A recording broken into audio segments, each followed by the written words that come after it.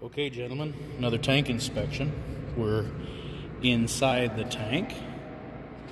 Um, internal floater with a fixed uh, external roof.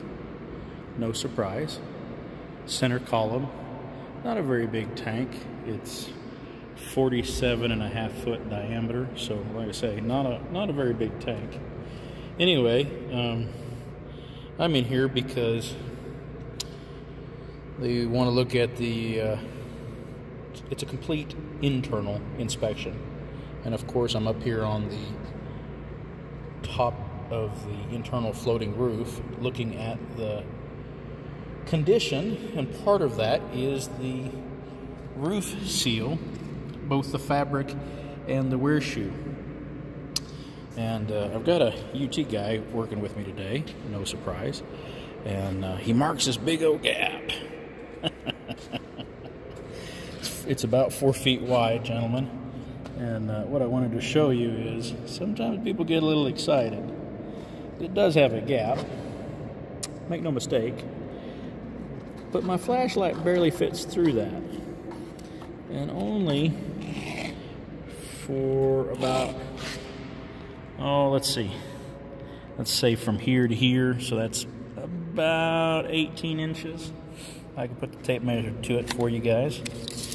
Um, okay, excuse me, 16, 17 inches. And although it looks real big when he measures it like this, that looks like an inch. But if you look straight down, if you look straight down, that's barely three quarters of an inch. In fact, I'd call it more like five eighths. Um, maybe three quarter right there at the very apex of the gap. But for most of it, it's significantly smaller, maybe closer to a half inch, tapering down to, of course, zero. Um, there isn't a weld right here. Um, there is a a seam in the wear shield, the wear plate.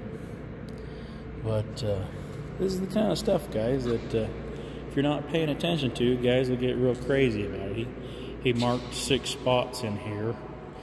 The one I just showed you is both the widest width-wise and the uh, biggest gap. Uh, the other ones are like this. Um, you know, if you if you look at it from this angle, it looks like something, but when you look at it straight down, you realize, ah, that's not even a quarter inch gap. So, not, not that much to get excited about. And you guys know me, I get excited about a lot of funny stuff, but I don't get excited about stuff that doesn't require it. Um, here's something kind of interesting, kind of a trend I'm seeing lately. It's the uh, auto gauge tape well with no tape attached. Um, the fabric does have a couple of spots that have been pinched, most likely um, during the original installation because they all match up with uh, hardware. No surprise. But the rest, considering this tank has been in service 20 years, here's another one of these gaps you got all excited about. And when you actually look, no, there's actually not much of a gap. Um, the VOC guys might get a little wound up about it, but you couldn't fit a half inch rod down there. So, uh, and that's, that one was at a, a girth seam. There's the girth seam weld right there. Or the, not the girth seam, the uh, vert. So, you know, if it if it looks like that at a at a vert, I'm not getting real excited about it.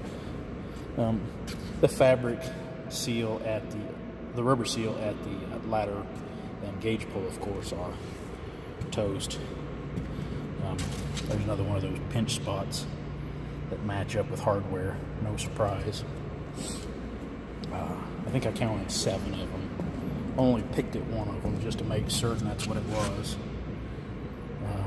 Once again, though, they all match up with with hardware locations. I would imagine, you know, the fabric was folded up out of the way so they could get to uh, the springs, either the horizontal or the vertical springs underneath, and had the fabric pushed or pulled up out of the way. And, you know,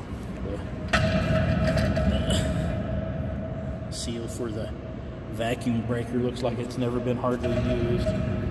But the center column, it's an API center column.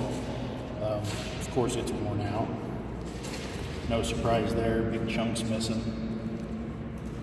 Um, anyway, just thought you guys might be interested in, you know, looking along. Um, we're on high legs, so luckily I wasn't the one that had to climb through that down to it and undo the uh, roof manway. It's kind of interesting design. It's the old design with uh, square treads turned on 45, so three quarter inch, four three quarter inch square bar turned at a 45, and uh, an inch and a quarter torched hole every 24 inches. yeah, quite the uh, quite the gauge pole. Anyway, thought you guys might get a kick out of that. Anyway, thanks for coming along. Bye.